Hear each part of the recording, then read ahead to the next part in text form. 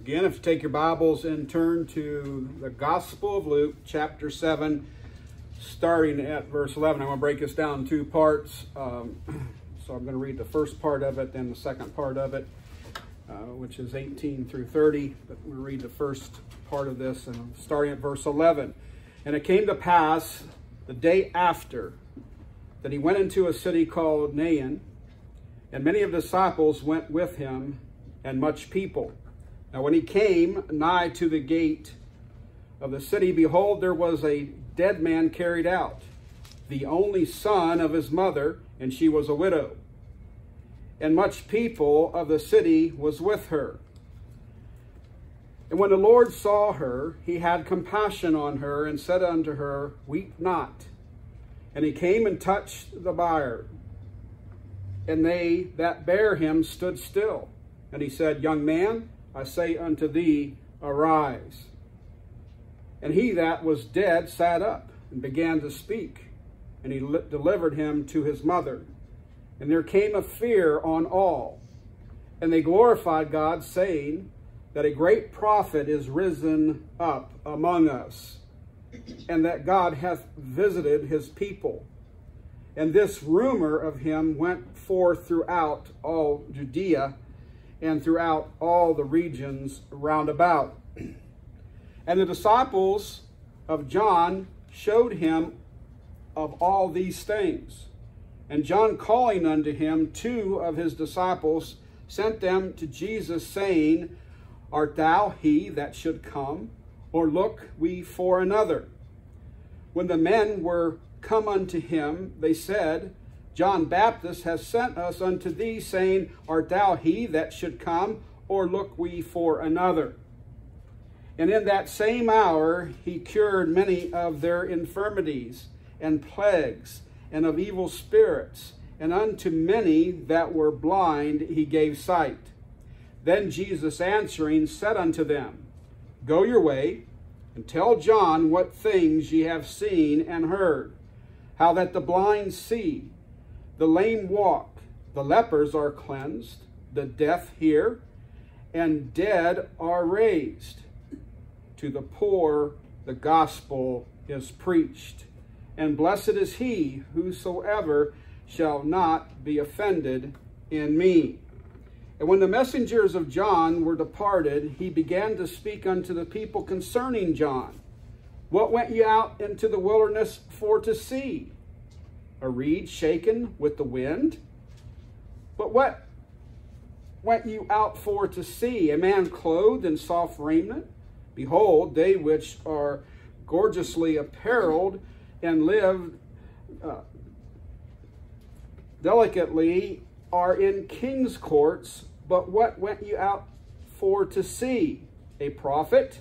Yea, I say unto you, and much more than a prophet. This is he of whom it is written, Behold, I send my messenger before thy face, which shall prepare thy way before thee. For I say unto you, among those that are born of woman, there is not a greater prophet than John the Baptist. And he that is least in the kingdom of God is greater than he. And all the people that heard him and the publicans justified God, being baptized with the baptism of John. But the Pharisees and lawyers rejected the counsel of God against themselves, being not baptized of him. The title of the message this morning is The Question of John. The Question of John. Now we look at this, and, and I was thinking about what was going on this week and everything that was transpiring and all these problems we're having, and and you watch the news or I'm sure you've heard of what's going on. So I won't go into details about that. But our faith sometimes wavers a little bit. And we keep meditating on the Word of God, as Brother Chuck was telling us, and what Joshua was told, and others in the Bible are told that we're supposed to meditate on the Word of God. When that contemplating, we wonder, when is Christ coming back? When is he coming? Uh, at what point in time, which we don't know, but we're, we're waiting, aren't we? We're still waiting. But as things continue to get worse and worse, we're just a little perplexed about the waiting part of it. And so when we read a verse of scripture like this and we see John the Baptist, the one that was the precursor for Jesus Christ, the one who was the forerunner, the one who was to set the example for, for all for to set Christ up, is now questioning is this really him? Is this really the Messiah? Or is there someone else going to come that's better than this one? Kind of hard to believe that John would think that. So as we look at this, try to keep that in our, our minds that we too question sometime. And I don't believe it's a sin, it's just our human nature to do that. So, in view and introduction to this, we see the raising of the widow's son had eventually produced a profound impression. I mean, this man was dead. There was no doubt about it. He was dead. The rumor went throughout all the region round about, as the scripture says, and was, and was carried also to John while laying in his dismal prison. So he got word of this. Every resurrected soul is a mighty testimony to the saving power of Jesus Christ. There again, we're not to lay down. There again, we're to be about the master's business. There again, we need to do something and not just stand idly by. I think the problem with some of the uh, Christians today is this they put on a set of blinders and hope it goes away. it's not going away. You can think that all day long. You may not want to even want to talk about it. You may not want to discuss it. You may not care anything about it. But I'm going to tell you it's not going away. Amen. So if you're putting the blinders on and hoping that's what's going to happen, it's not going to happen. It's not going to happen. Ephesians chapter 2 and verse 1, and ye hath he quickened who were dead in trespasses and sin. By reason of such, many had have believed on him. John chapter 12, verse 10 through 11. But the chief priests consulted that they might put Lazarus also to death, because that by reason of him many of the Jews went away and believed on Jesus. So, look at our situation today. What does the Liberal Party want to do? They want to put us to death. They want to get rid of us. They don't want to hear our message. They're not concerned about our message because they are in unbelief. Even those who call themselves Christians, I'm seriously doubting that they are. They have a religion, they believe in God. But if we go back and look at Paul's life or Saul's early life, we can see that he was religious. He believed in God, but he didn't believe in Jesus Christ. I mean, we do pray that the president will come to the saving knowledge of Jesus Christ. I've never heard him say he believes in Jesus Christ. I've never heard him say that. I've, he believes in God, but there again, unless you believe in Jesus Christ, you know, there's the importance of it. So the first question is my first point here. Art thou he that should come? Or look we for another? Verse 19. It does seem strange that such a question should come from John the Baptist. From him who saw the Spirit descend like a dove upon him and who bore record, this is John who was speaking here, and bore record that this is the Son of God, and who said, Behold, the Lamb of God. In John chapter 1, verse 29 and 36. So John made that statement. He told his disciples, here he comes. Behold the Lamb of God. When he was baptized, we see, Behold the Lamb of God. John gives record of himself in chapter in, in John chapter 1. Let's turn there and, and, and just read that of this record that John does give of himself there. John chapter 1 and verse 19.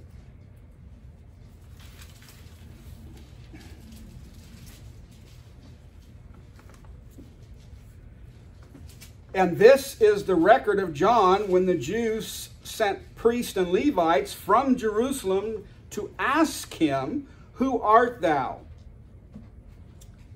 And he confessed and denied not, but confessed, I am not the Christ. And they ask him, What then? Art thou Elias? And he saith, I am not. Art thou that prophet? And he answered, No. Then said they unto him, Who art thou? That we may give an answer to them that sent us. What sayest thou of thyself? He said, I am the voice of one crying in the wilderness, make straight the way of the Lord, as said the prophet Isaiah. And they which were sent were of the Pharisees. And they asked him and said unto him, Why baptize thou, why baptizest thou then, if thou be not the Christ, nor uh, Elias, neither that prophet? John answered them, saying, I baptize with water, but there standeth one among you whom ye know not. He it is who coming after me is preferred before me, whose shoes latched I am not worthy to unloose. Now, kind of strange words from John, now in prison, now contemplating, huh, is this Jesus? Is this the Messiah? Is this the one that's supposed to come, or do we look for another? And then I got to think about it and think, what's going to happen to us when we get thrown into jail? What's going to happen to us when we get thrown in prison? What is our thoughts going to be? What is our mind going to wonder? You know, okay, God, where are you? you know, we're doing all this for you, but where are you? What now what? And that's what John is facing here. He's facing loneliness, darkness, a dungeon. I mean, we're talking about a mountain man that was free and loose to go out and, and eat wild honey and locusts, and, and now he's reduced to the prison walls. So we can understand his predicament. Did not Christ himself say in Matthew chapter 11 verse 11, Verily I say unto you, among them that are born of woman, there hath not risen a greater than John the Baptist, notwithstanding he that is least is the kingdom of heaven is greater than he. Who's the least of the kingdom of heaven? Jesus Christ. He's greater. But yet John is the greatest of all prophets. Now some say that John was the greatest of all men. That's not what it says. Because it's verified there in, in Luke where he says that among women he's the greatest prophet. But one greater than he is here. The one greater than he is, of course, Jesus Christ once again. So, yes, it does seem strange, but why should the Almighty Deliverer allow his forerunner to pine away in a dark and loathsome dungeon? Why would you do that?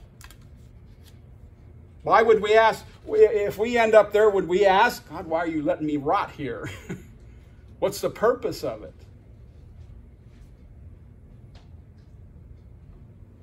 It may be as easy for us as for John to say, He must increase, I must decrease. But when the decreasing goes on and on till we almost question our relationship to Christ, that's a sad state to be in. I don't really believe John the Baptist even wanted to think that but understand his situation. Understand where he's at. Understand what has just happened to him. All his freedom has been just taken away. All his ability to, and I'm sure that he may have, even in his, his prison cell, uh, per, you know, continue to preach repentance, but being baptized and, and repent, but he's confined now. He doesn't have the wilderness to walk anymore. He doesn't have the Jordan banks to walk anymore and to baptize people. He's refined to his prison cell. So what it becomes, and it's going to become the same thing for us, it's going to become a trial of faith. A trial of faith. But the trial of your faith is precious, 1 Peter 1 7. That the trial of your faith being much more precious than of gold that perisheth, though it be tried with fire, might be found unto praise and honor and glory at the appearing of Jesus Christ. Don't lose heart. Don't lose faith, regardless of what happens to us. What if we were to remain on the mountaintop and never see the valley? And that's basically where John is right now. He's always been on the mountaintop. The strong, vibrant mountain man is now confined. We say, would we, we say we would be great. That it would be wonderful to be on the mountaintop. But would it? Look at Second Corinthians, if you would, and, and, and see the lesson that Paul is teaching here in Second Corinthians chapter 12 and verse 7.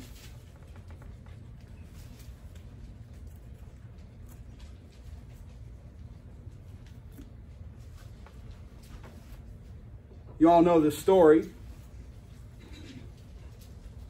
2 Corinthians chapter 12, starting at verse 7. And lest I should be exalted above measure through the abundance of revelations, there was given to me a thorn in the flesh, the messenger of Satan to buffet me, lest I should exalt, should, that I should be exalted above measure. For this thing I besought the Lord thrice, that it might depart from me. And he said unto me, My grace is sufficient for thee, for my strength is made perfect in weakness. Most gladly, therefore, Paul's saying, will I rather glory in my infirmities, that the power of Christ may rest upon me. Therefore I take pleasure in infirmities, in reproaches, in necessities, in persecution, in distresses for Christ's sake. For when I am weak, then am I strong. Now, we won't get into what you think or what you believe that the thorn in the flesh is, but the idea is that he had it. Why did he have it? Paul was an intelligent man. He was a member of the Sanhedrin. He was a well educated person. And he could have lifted himself up above anybody else at that time. And to keep him on the straight and narrow, Christ allowed him to be buffeted by a messenger of Satan. Thorn in the flesh, if you will. To keep him humble, to keep him in a perspective. Because living on the mountaintop isn't always the greatest thing. We learn in the valleys. If we're on top of the mountaintop all the time, we, we start to delinquish our duties. We stop praying, we stop reading, we stop preaching, we stop doing a lot, of, stop going to church. Why? Because things are going well. Things are just fine and dandy. But when we're in the valley, it causes us to do one thing, and that's to look up. You have to look up. So I get aggravated at those who try to portray Noah's Ark when there was only one window. They got a whole slew of windows on around the outside. It was one window, and it was a purpose for that one window that when things were tough and they were in there for 40 days and 40 nights, that the only place they had was to look up. That's the only place there was any light, to look up. Straight to God, and only Him for help.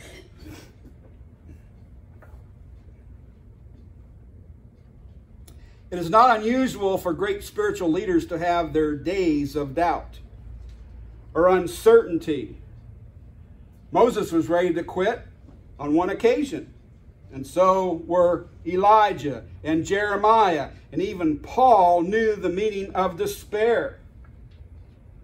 And, and you don't have to turn there, but in 2 Corinthians chapter 1, verse 8 and 9 says, For we would not, brethren, have you ignorant of our trouble which came to us in Asia that we were pressed out of measure, above strength, insomuch that we despaired even of life.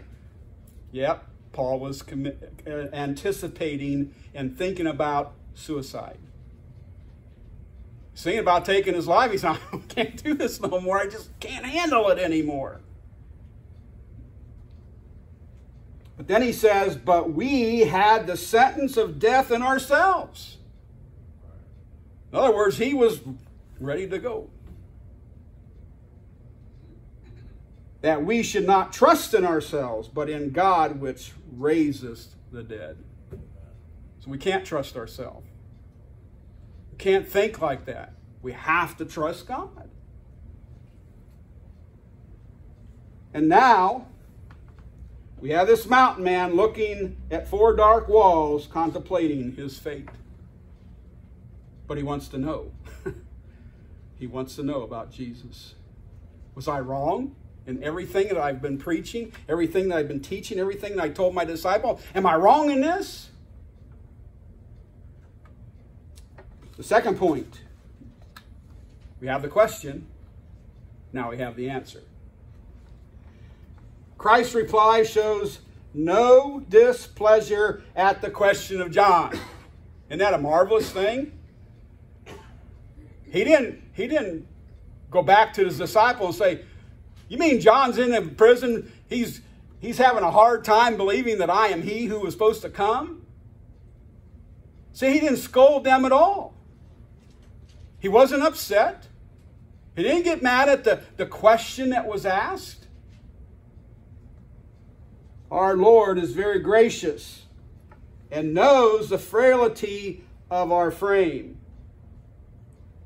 And in verse 21 23, he says, Go your way and tell John what things you have seen and heard.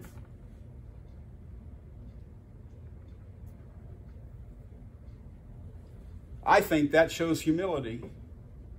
Because Jesus could very well said to his disciples, You go back and tell John that I am the one who's supposed to be here. See, he didn't handle it that way. He said, Just go tell John what you've seen. Go tell John what you've heard. Those who would speak for Jesus and comfort the tempted must speak what they have seen and heard. Christ never sends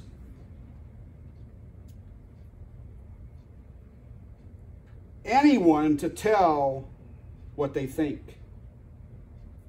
We speak that we do know.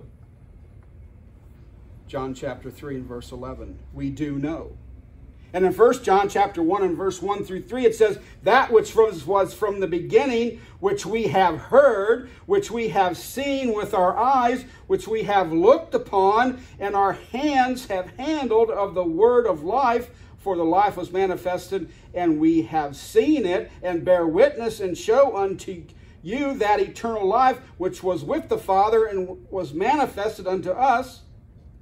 That which we have seen and heard declare we unto you, that ye also may have fellowship with us.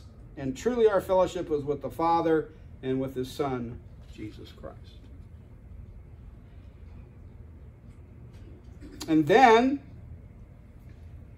and what a story they had to tell. What a story they had to tell. In verse 22 there, it says, uh, Luke chapter 7, verse 22, it says, Then Jesus answering said to them, Go your way and tell John what things ye have seen and heard, how that the blind see, the lame walk, the lepers are cleansed, the deaf hear, the dead are raised, to the poor of the go- to the poor the gospel is preached. John, have you ever seen anything such like this before? That's basically what he's telling the disciples. Go back and tell him. Did you ever see anything like this before? Have you ever heard of anything like this before? And you have to understand that there's like, what, six months between uh, uh, John and, and Christ? They're the same age. Grew up in the same time. So it's very fitting that go tell John what you've seen. Go tell John what you've heard. He's never heard anything like this before. He's never seen anything like this. So, John, what do you think? I think John's sitting in the cell saying, yeah, he's he. he's the one. Such a gospel is enough to drive away all doubts and fears, isn't it? That's why we need to do the same. I know people don't want to hear it, but that's why we're here to tell them about Jesus Christ. Look what he's done. Look what he, you know, look what we've heard. That's what John saying in First John. We have touched him, we have handled him, we have seen all these things, and now we're relating it to you because we want you to see the same things. These people out here, they don't see this. I just think we're a bunch of Bible thumping people that don't have the first clue what's going on. Then, thirdly and lastly, we see the testimony. We see the testimony. As soon as the messengers are gone, Jesus bears witness to the true character and divine mission of John. He asked them, What did you come to see? Did you come to see this little wimpy person out here? What did you come to see? Did you expect this messenger of God to be dressed in fine clothes and, and be like in king's houses? What did you expect to see? And I tell you that no greater prophet born of woman is greater than John. See, their expectations once again was for something that was fancy and elaborate and Christ count, counted them with it. He, he, he countered with that and says, What did you come to see? What did you expect? Can you imagine John's situation? He, I mean, after all, he's eaten wild honey and locusts. He's dressed in camel skin. I mean, had to look a sight, right? What did you come to see? What a testimony. He was no silly reed shaken with every wind of doctrine that may blow. Look at the religion out here today. It's shaken.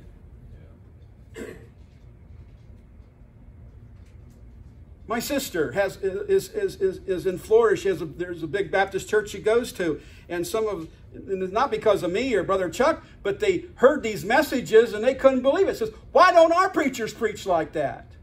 Why don't they tell us these things? Because they're shaken with every way of doctrine. They're afraid of making waves. They're afraid that if they speak up and tell you what we're telling you this morning, that they'll walk away. And see, that don't bother Brother Chuck and myself. I, I, I don't worry about those things. All I'm worried about is presenting the truth, telling you just exactly what the Bible says, not holding back, not trying to water it down, but give it to you straight.